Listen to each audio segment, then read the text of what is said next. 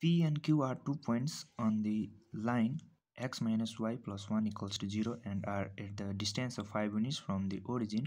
Find the triangle of uh, find the area of triangle POQ.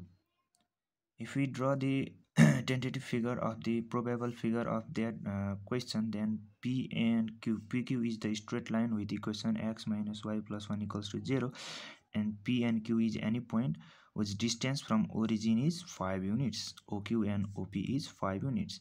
And if we construct the construct the perpendicular distance from origin to the straight line uh, at point r and then the ro is the perpendicular distance from the origin to the straight line.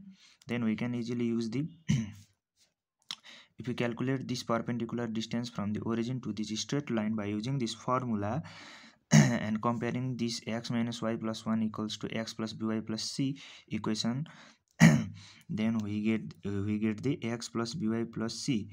A is 1 a, if we compare this equation with ax plus by plus c then a will be 1 b will be minus 1 and c will be 1 and the x and y for this equation is given by this point origin. Origin is 0 comma 0 so that i put the value of x and y 0 0 a 1 b minus 1 and c is 1 and if if uh, if we solve this and we get we will get this 1 by root 2 units. This is the distance perpendicular distance from uh, origin to the uh, origin to the straight line pq and now to calculate the area of this triangle we need to uh, we need to find the distance uh, uh, length of pq that is the base and the perpendicular distance. Height is already calculated so that we have to find this distance pq to find distance pq we use the uh, we, we we use the pythagoras theorem in triangle this por by using pythagoras theorem in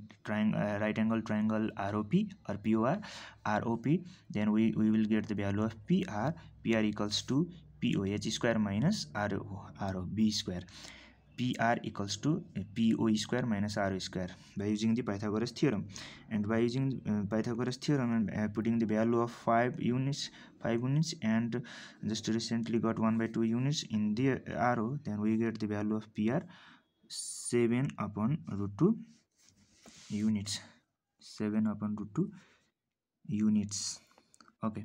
Then we know that according to the question PO and OQ is equal. That means that POQ triangle is isosceles triangle since its two sides are equal. And OR is perpendicular distance. In the isosceles triangle a perpendicular distance from the vertex to the base always bisect the base hence uh, pr is always equals to rq pr is always equals to rq so that if we calculate the value of pr we can uh, find the value of uh, pq by just multiplying pr by 2 that's done here.